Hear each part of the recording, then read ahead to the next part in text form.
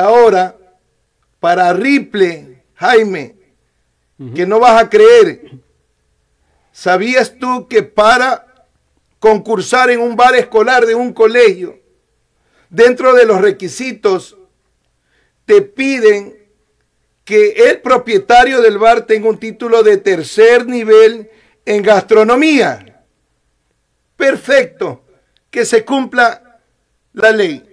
Lo que nosotros nunca vamos a compartir, que se nombren autoridades zonales, educativas, que son el ejemplo, que son multiplicadores de conocimiento, que son personas que deben de tener un perfil y que sean mejores académicamente que quienes estamos como son los maestros y los directivos.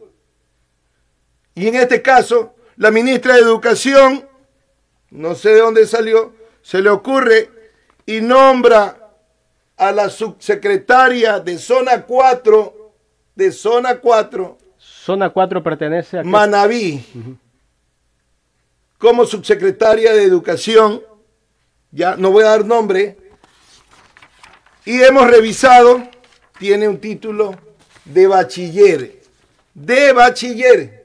¿En qué? En artes y música.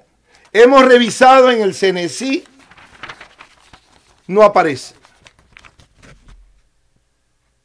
¿Qué podemos esperar Ahora, de la puede- educación?